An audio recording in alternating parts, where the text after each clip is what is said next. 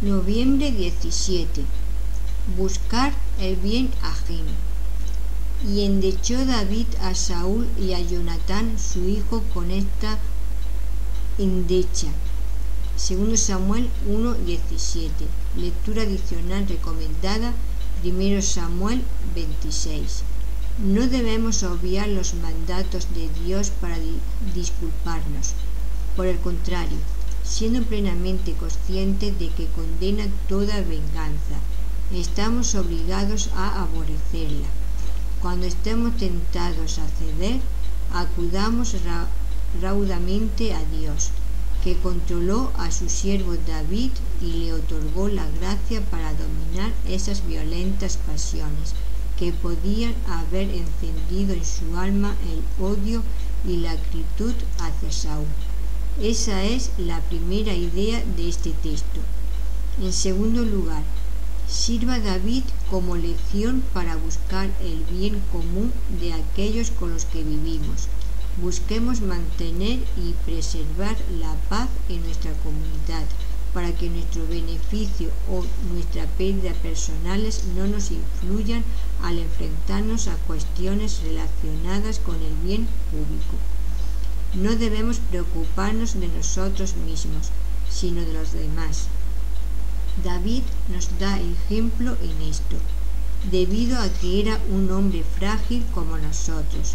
Los sentimientos humanos no le eran ajenos y sus experiencias eran similares a las nuestras. No obstante, antepuso otras cosas a sus preocupaciones personales no eran nada comparadas con la salvación y la protección del pueblo de Israel. Ese es el motivo de que se lamentara por Saúl.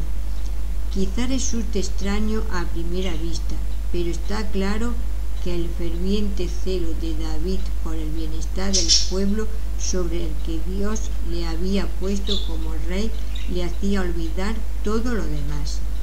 Luchó, pues, contra sí mismo y se cometió a la voluntad de Dios al proclamar las características positivas de Saúl. En cuanto al resto, es indudable que la lamentación aquí documentada se proclamó por toda la nación, para que todos comprendieran que David no estaba separado del pueblo de Israel. Le tomarían como un miembro fiel, reconociendo que siempre se había desvelado por el bienestar y la seguridad del pueblo y que ese seguía siendo su objetivo. Meditación.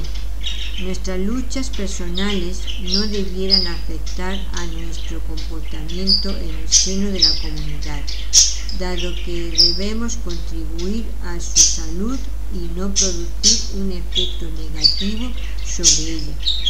¿En qué áreas de tu vida antepones tu bienestar al de quienes te rodean?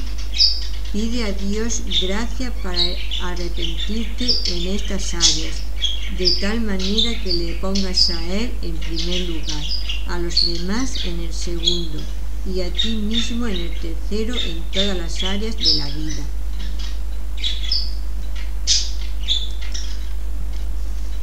Noviembre 17.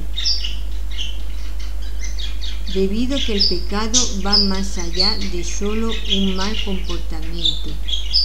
El intentar ser mejores no es una solución. Solo la gracia que transforma los corazones puede rescatarnos. Existe una diferencia entre la persona que es llevada por la desilusión, a una reforma personal y la persona que es conducida por la culpa a una confesión sincera. Creo que generalmente confundimos las dos. La primera persona cree en la fuerza personal y en la posibilidad de salvarse a sí misma, mientras que la segunda ha dejado su propia justicia y clama por la ayuda de alguien más. Una se levanta en la mañana pensando que lo hará mejor hoy, pero la otra comienza el día con una súplica por gracia. Una se enfoca en un cambio en el comportamiento y la otra confiesa su corazón errante. Una afirma tener el poder para un cambio personal, mientras que la otra sabe que necesita recibir fuerza para la batalla. Una debe aferrarse a la posibilidad de la reforma personal, pero la otra ha abandonado esa esperanza y ha corrido a Dios en busca de ayuda. La reforma personal basada en uno mismo y la penitencia que le sigue es totalmente opuesta a la confesión sincera con el arrepentimiento que le sigue. Las personas que admiten que lo que han hecho está mal y que inmediatamente hacen planes para mejorar. Involuntariamente niegan lo que el Evangelio de Jesucristo dice sobre ellas, sobre cómo es que el verdadero cambio sucede y dónde podemos encontrar ayuda. Lo que ha omitido o rechazado es la confesión. Cuando confiesas tus pecados a Dios, no solo admites que has pecado, no. También confiesas que no tienes poder para librarte del pecado que has confesado. La verdadera confesión siempre combina el admitir el error con una súplica por ayuda. Entonces el corazón, animado por el perdón y la presencia de Jesús, anhela vivir de una nueva y mejor manera, arrepentimiento.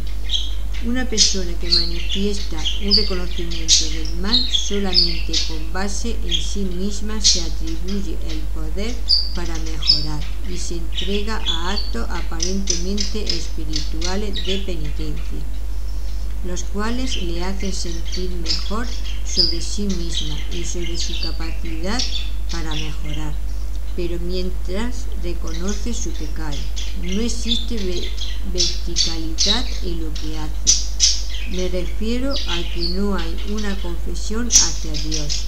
No hay reconocimiento de su desesperada necesidad de ser rescatada y no hay arrepentimiento que sea motivado por un corazón lleno de gratitud y alabanza a Él es una manera de lidiar con el pecado de yo me puedo salvar a mí mismo y es más preponderante en la iglesia de Jesucristo de lo que nos imaginamos. Nunca resulta en cambio duradero. Nunca produce humildad protectora y preventiva en los corazones. Nunca estimula un mayor servicio y adoración al Salvador simplemente no funciona. Si tuvieras el poder de cambiar sin la ayuda de Dios, Jesús no tendría que haber venido. Toda la historia del Evangelio y la Escritura es una historia de personas desesperadamente atrapadas en el pecado y que no tienen esperanza de no ser por la gracia rescatadora del Redentor. Cuando tu pecado sea revelado hoy, ¿cuál de estos dos caminos seguirás? Para profundizar y ser alentado, Lucas 15, 1 al 10.